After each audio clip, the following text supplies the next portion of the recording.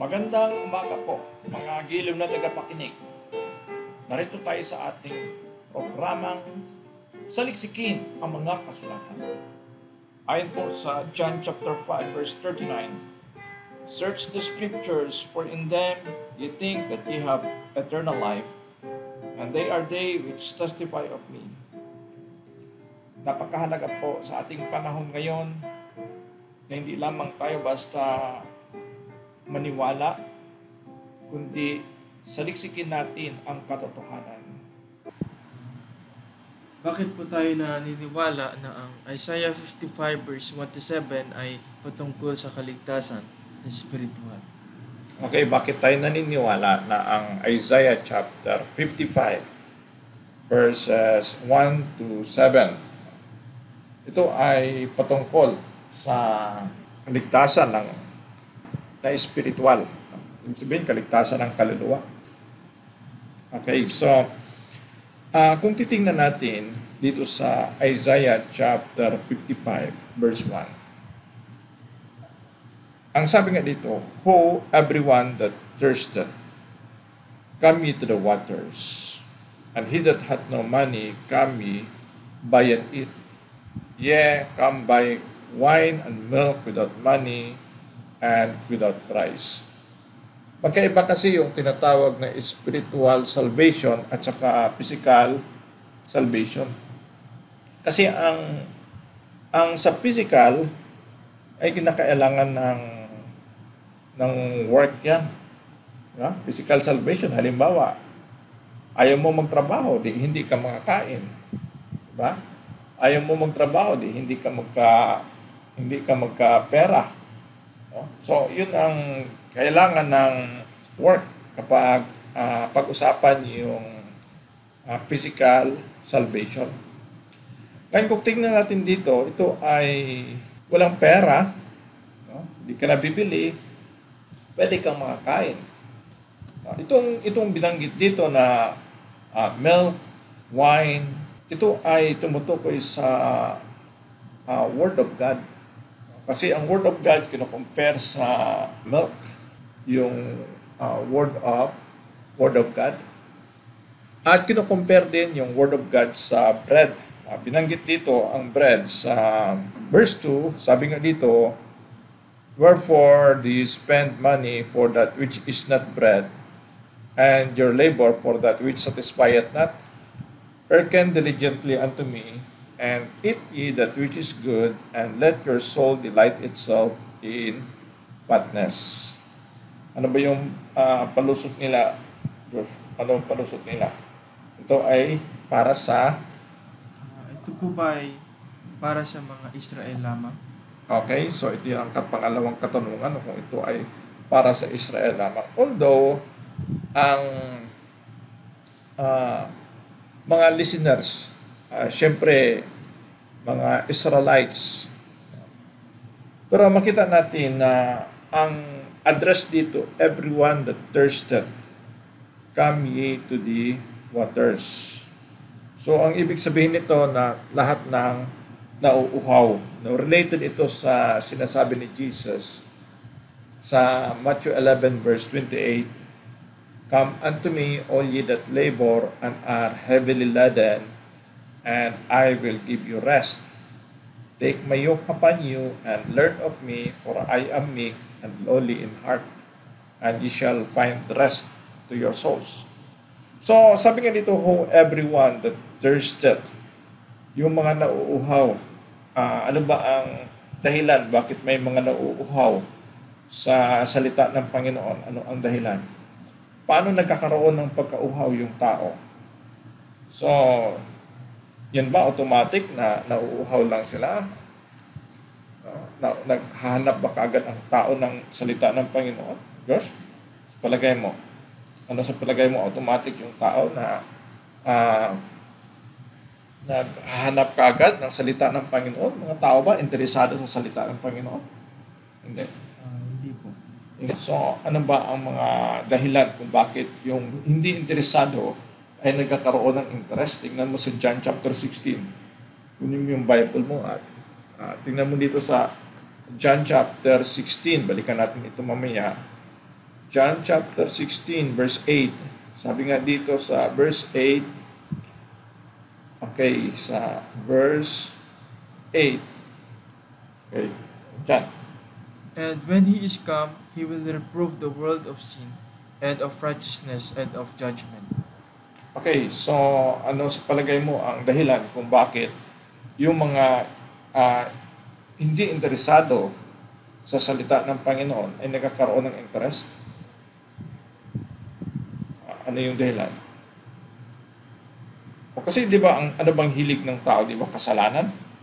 Di ba yun ang ayaw ng tao ng mga spiritual na bagay? Saan natin makikita yan? Ah, sa makikita natin yan sa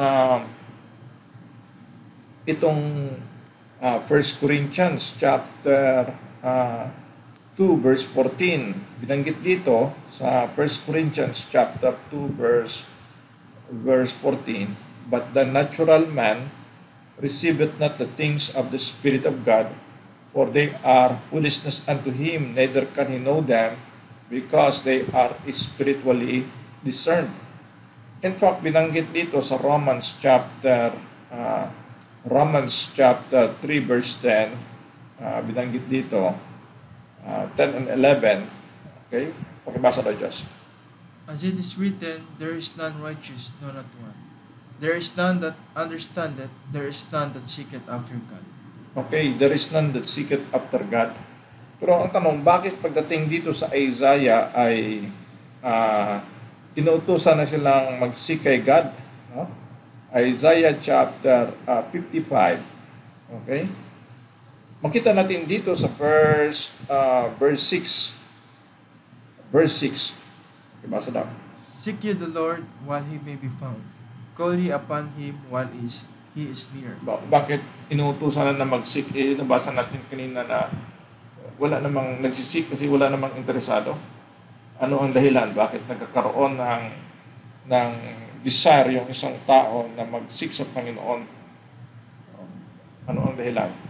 Sa palagay mo, yung verse natin kanina sa John chapter uh, 16 at uh, makita natin na ang Panginoon, ang Holy Spirit, siya yung nag-draw sa tao doon sa Panginoon. Kaya dito sa John chapter 6 verse 44, uh, makita natin uh, uh, sa verse verse 44 binanggit dito. Okay? Uh, babasa natin. Sa verse 44 okay. No man come to me except the Father which hath sent me through him, and I will raise him up at the last day. So yung tao hindi interesadong lumapit, ayaw lumapit, no? Kasi dahil sa kanyang uh, love for sin, no? Dahil sa kanyang uh, uh, dep- depravity.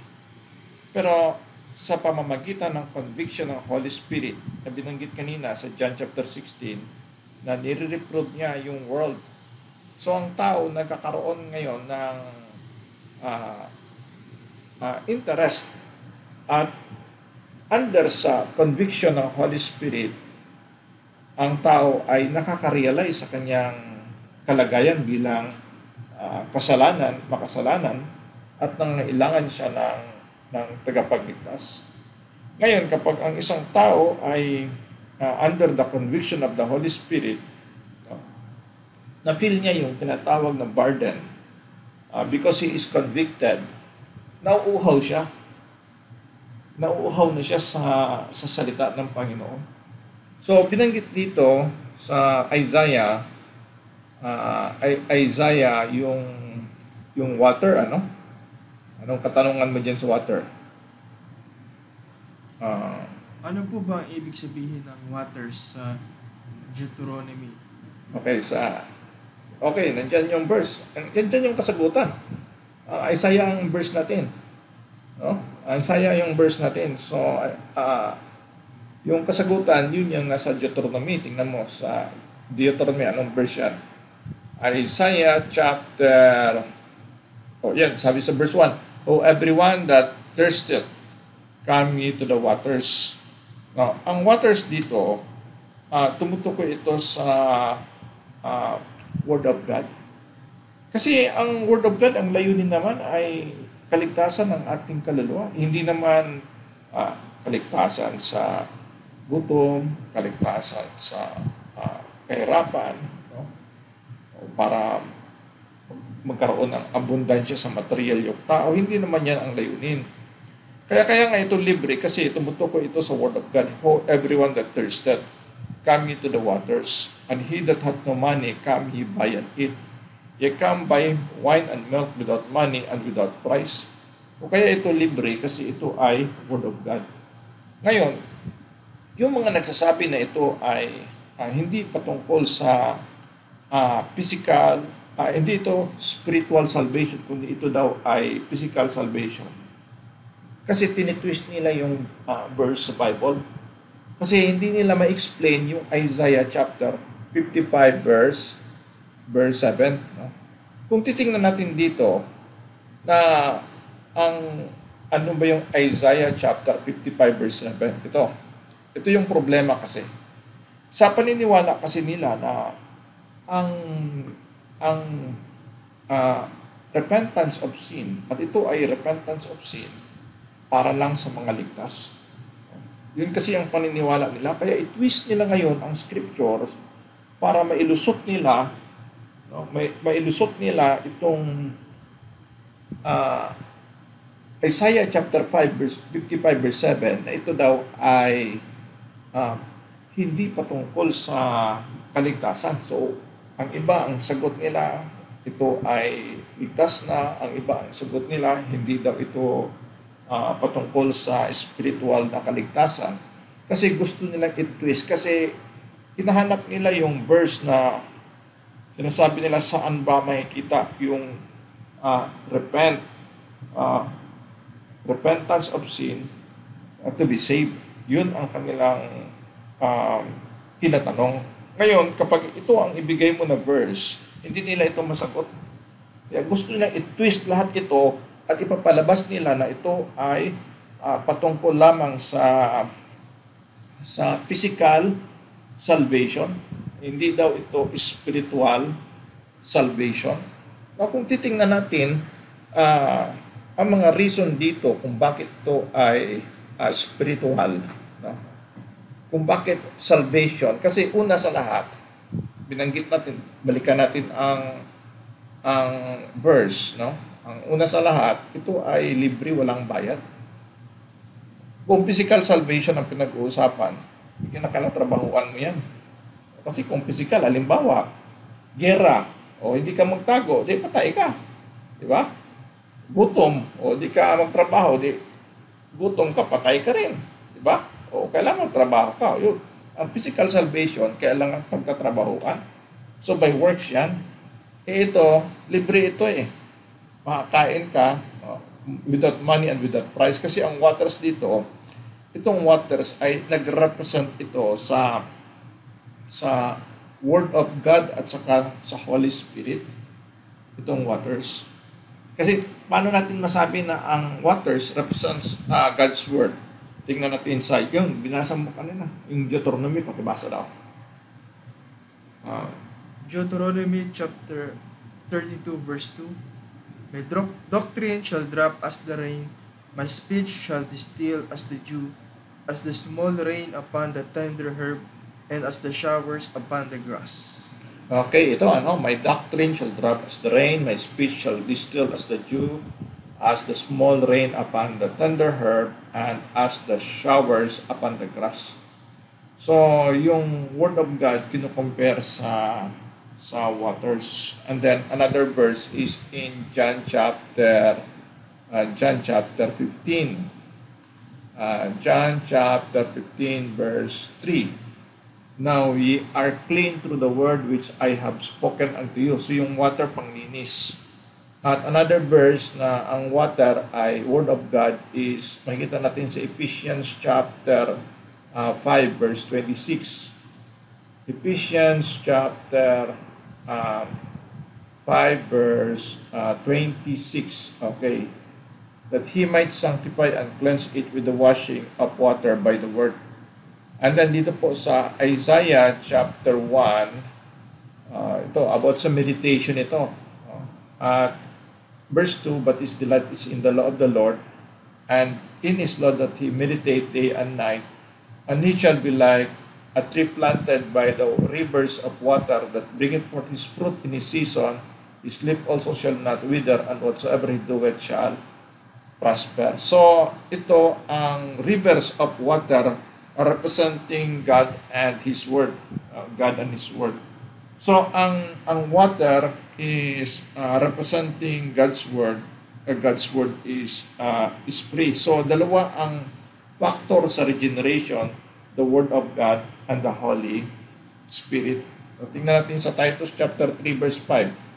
Uh, dalawa ang factor sa regeneration, uh, Titus chapter 3 verse verse 5. Sabi pa dito, Not by works of righteousness which we have done, but according to His mercy, saved us by the washing of regeneration and renewing of the Holy Ghost. There are two factors in the regeneration of man, and that is the the Word of God. Mahalaga yung hearing of the gospel kasi ang tao ay maborn again sa pamagitan ng uh, Word of God. Uh, tingnan natin sa uh, 1 Peter chapter 1 verse uh, uh, verse 18. Tingnan natin. Okay, for as much as you know that you were not redeemed with corruptible things as silver and gold from your vain conversation received by tradition from your fathers, but with the precious blood of Christ as of a lamb without blemish and without spot. And then sa verse 23, tingnan natin, being born again, not of corruptible seed, but of incorruptible by the word of God, which liveth and abideth forever. So we are born again by the word of God. So mahalaga yung word of God para tayo ay born again in connection with the Holy Spirit. Kaya nga, binanggit sa Titus 3.5 kanina, uh, uh, sa Titus chapter 3 verse 5, binanggit dito, uh, 3 verse 5, Not by works of righteousness which we have done, but according to His mercy save us by the washing of uh, regeneration and renewing of the Holy Ghost. So two factors in the regeneration of man. Una, yung uh, Word of God and then yung Holy Spirit. At saan natin mapapatunayan na yung uh, yung water represents also the Holy Spirit. Tingnan natin sa John chapter 4. Uh, makita natin sa John uh, chapter 4, simula sa verse 10, Jesus answered and said unto her, If thou knewest the gift of God, who it is that said to thee, Give me to drink, thou wouldest have asked of him, and he would have given thee living water. And then, binanggit dito sa uh, verse verse 13, Jesus answered, said unto her, Whosoever drinketh of this water shall thirst again, but whosoever drinketh of the water that I shall give him shall never thirst, but the water that I shall give him shall be in him a well of water springing up into everlasting life. So, andyan yung uh, yung Holy Spirit na nagbigay sa atin na which results sa sa tinatawag na eternal life kung makamit natin yung Holy Spirit, no? Shall never thirst again. Ngayon, ang tao na uhaw. Kaya, kung titingnan natin sa Isaiah, Isaiah chapter 55, balikan natin itong Isaiah chapter uh, 55. Maliwanag dito, ano? Oh, everyone that thirsteth. Uh, yung Panginoon, tinatawag niya lahat na nauuhaw So, do you think Israel lang ang nauuhaw? O lahat ng tao? Okay, lahat ng lahat ng tao. So, applicable ito sa lahat ng tao. Hindi ibig sabihin na Israel lang yung sinners. Kasi si Jesus na parito para sa mga mga sinners, hindi sa mga self-righteous. Yung mga self-righteous, hindi sila nauuhaw kasi uh, hindi sila mataas ang kanilang pride Inisip nilang righteous sila, matuwid. Pero kapag parati kang nakikinig sa Word of God, no, sabi nga dito sa verse, ano, verse, uh, verse 6, sabi nga dito, Seek ye the Lord while He may be found. Call ye upon Him while He is near. So, when is God near to you? Kailan ba malapit ang Panginoon? Seek the Lord. Kapag, kapag ah, nakapakinig ka sa Word of God, di ba? Di ba? Kapag nakapakinig ka, naghatid ng conviction sa heart mo kung ano ang katotohanan, na-encourage ka, nagkakaroon ka ng ah, pananampalataya kung may Word of God. Kasi kung wala naman ang Word of God, hindi naman tayo manampalataya. Saan ang verse na sa magitan ng dakikinig, ah, nagkakaroon tayo ng pananampalataya sa Panginoon. Ah, tingnan natin sa Romans chapter 10 verse ah, 17. So then, faith cometh by hearing and hearing by the word of God. So, kung balikan natin, kasi limitado ang ating time, ah, dito tayo sa Isaiah, balikan natin yung Isaiah chapter 55. Binanggit dito yung bread, ano? Ah, binanggit dito yung bread. Ah, tingnan natin, Isaiah chapter 55. Okay, sabi nga dito, ah, wherefore do you spend money for that which is not bread? Anong ibig sabihin ito? Yung pina-priority kasi ng tao, ah, gastos dito, gastos doon, hindi naman masa- makapag-satisfy.